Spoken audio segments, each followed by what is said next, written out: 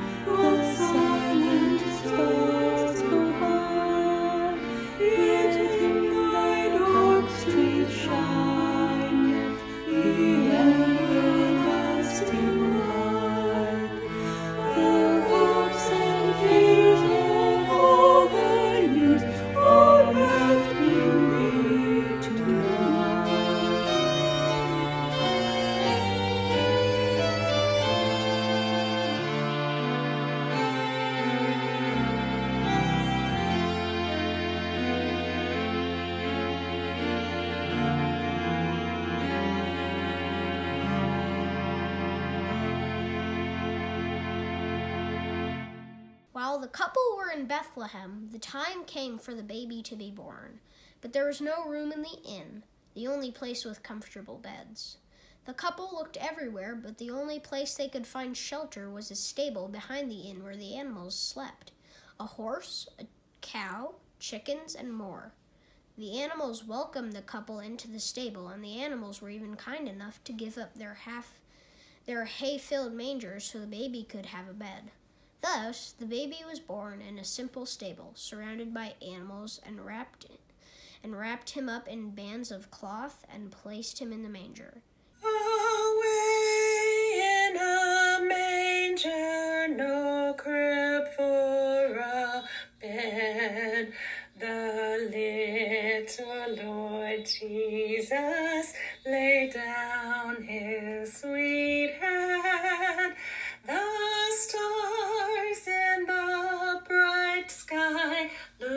Looked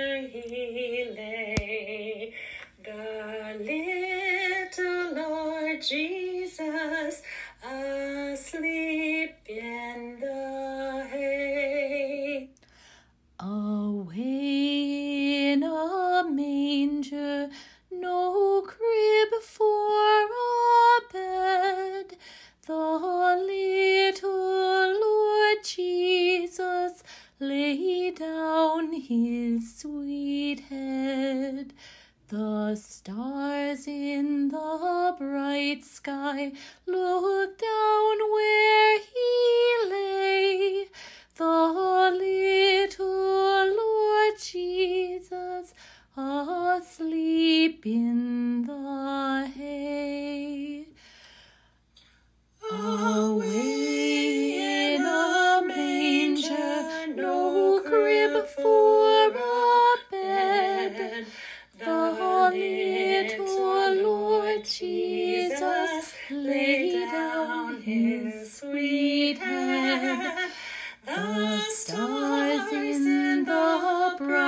sky, looked down where he lay. The little Lord Jesus asleep in the hay. In that region, there were shepherds living in the fields, keeping watch over their flocks of sheep. Suddenly, there, they were startled by a sight, sight of a bright star in the night sky, and they heard angels singing to them.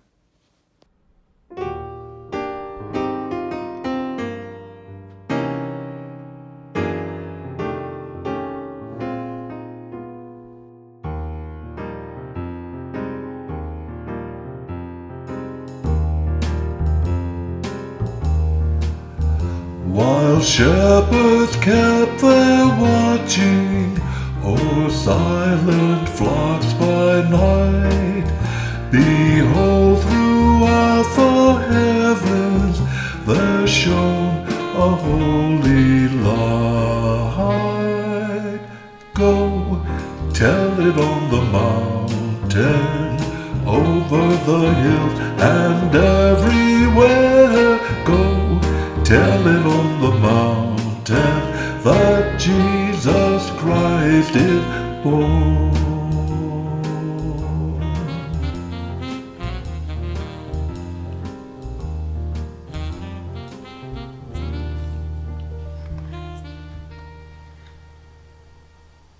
an angel of the Lord stood before them, and the glory of the Lord shone around the shepherds, and they were terrified. But the angel said to them, Do not be afraid, for I am bringer good news of great joy for all people. To you is born this day in the city of David a Savior who is the Messiah, the Lord. This will be a sign to you. You will find a child wrapped in bands of cloth and lying in a manger. Suddenly there was with the angel a multitude of angels, and the angels were saying, Glory to God in the highest heaven, and on earth peace and goodwill among all people everywhere. Hark the herald angels sing, glory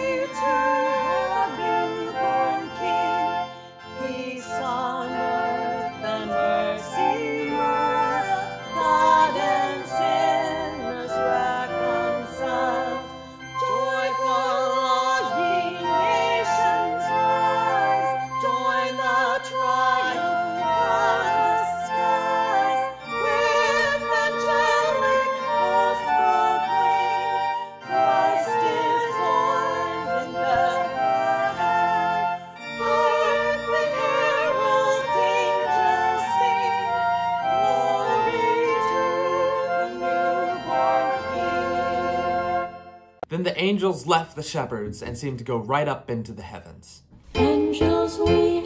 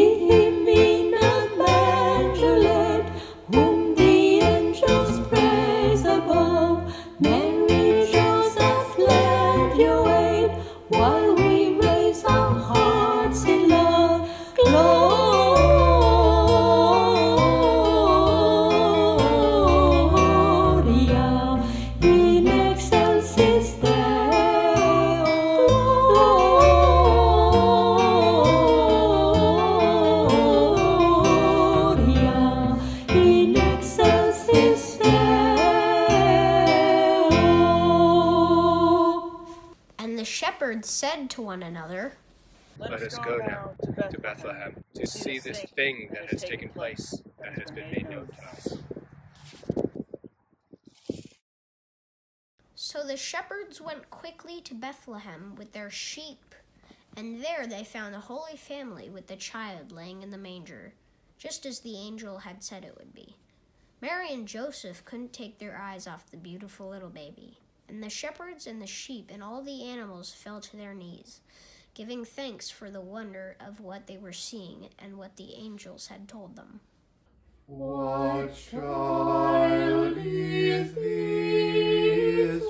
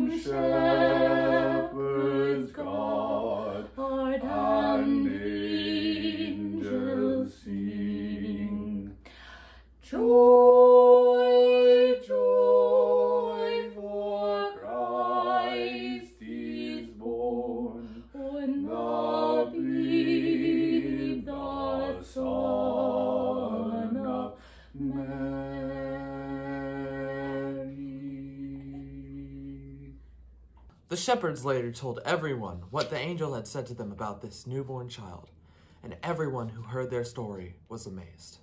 And the parents kept all these things and treasured them in their hearts. After Jesus was born in Bethlehem, three wise persons who were kings from the Far East came to where Jesus was. They followed the star, sure it was guiding them to something wonderful. They had heard of a prophecy which had been spoken long ago that the Messiah would be born in Bethlehem. Where is the child who has born, been born King of the Jews? We have observed his star in the sky and come to praise him and get, bring him gifts. Ahead of them went the star that they had seen when it first appeared in the east. And the wise persons followed the star until it stopped over the stable where the newborn child was laying in the manger. When the wise persons saw where the star had led them, they were overwhelmed with joy and entered into the stable. There they saw the Holy Family, and they bowed down to honor them. And they opened their bags and brought out gifts of gold, frankincense, and myrrh, which they had brought with them.